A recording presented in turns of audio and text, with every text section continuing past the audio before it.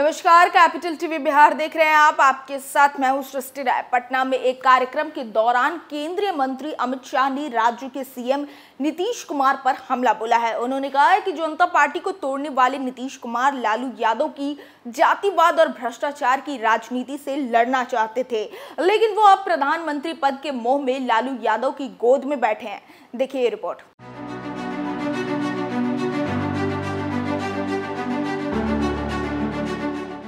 Report केंद्रीय गृह मंत्री अमित शाह ने बिहार की सरकार पर निशाना साधा है। उन्होंने राज्य के सीएम नीतीश कुमार पर हमला बोलते हुए कहा कि पूरी ज़िंदगी कांग्रेस के विरोध में गुजारने वाले नीतीश कुमार सिर्फ़ प्रधानमंत्री पद के लालच में सोनिया गांधी की शरण ले रहे हैं।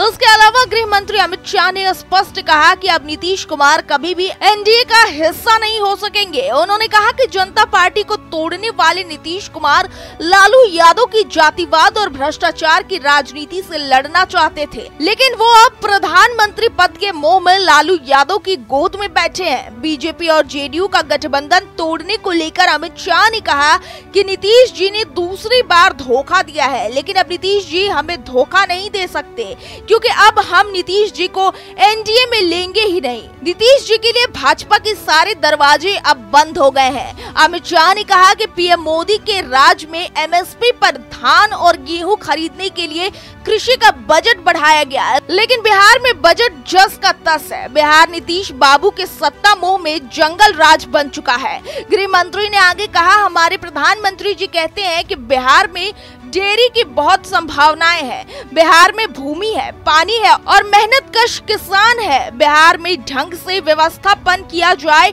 तो पूरे भारत का सबसे ज़्यादा दूध उत्पादन करने वाला राज्य बिहार बन सकता है।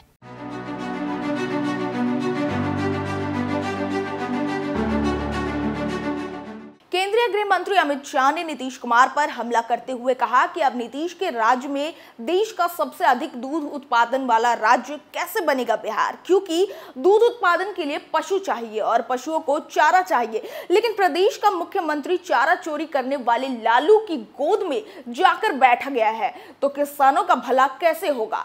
इसके साथ ही शाह ने जनता को आश्वासन देते हुए कहा कि बिहार वालों, आप लालू की चिंता मत करो। बिहार में अब चारा चोरी नहीं होगा, क्योंकि 2025 में यहाँ भाजपा की सरकार बनेगी। अभी तक के लिए बस उतना ही, बाकी की तमाम खबरों के लिए बने रहिए कैपिटल टीवी बिहार के साथ। नमस्कार।